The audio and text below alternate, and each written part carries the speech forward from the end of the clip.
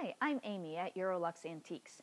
Today I'd like to show you how easy it is to hang and take off antique doors on a piece of antique furniture. So this is a beautiful buffet. It dates to right about 1900. It's from France and it's a Renaissance style buffet. Uh, typically these pieces have either two or three doors. This one has three. And they all pretty much work about the same way. And it's really easy. So I'm going to show you how to do it. Um, I, I'm short, so I have a step stool, so I'm just going to step up on that. Now, the doors, uh, French furniture does not usually have knobs like American furniture. Usually you just have the keys, so you would unlock the door twice. The key locks always turn twice in France. Open the door. Now, you just gently hold on the edge of the door and pull up and away, and then the door comes right off in your hands. So the way the door works is that up at the top, there is a metal pin on a metal slide that is affixed to the top of the door. That doesn't come off.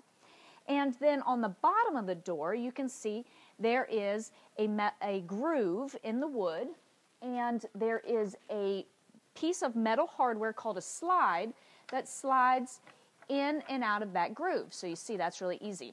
So to hang the door back up, we take that metal slide and you look here in the door jamb where there's a little hole, and I put that pin into the hole. And it's good to turn this metal slide kind of um, coming straight out. Then I make sure I have my door the right way, which I'll know it's the right way by having the metal pin up at the top that's affixed.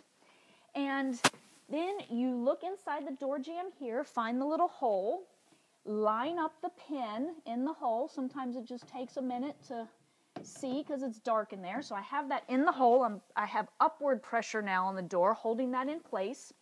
And then I'm going to use my fingers to gently line up that groove on the underside of the door with that metal slide and then just slide the piece on, just like that. So you see I can adjust it in and out if I need to.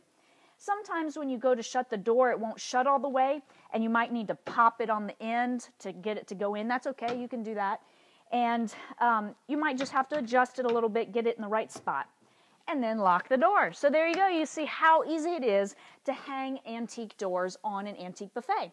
Thanks for listening.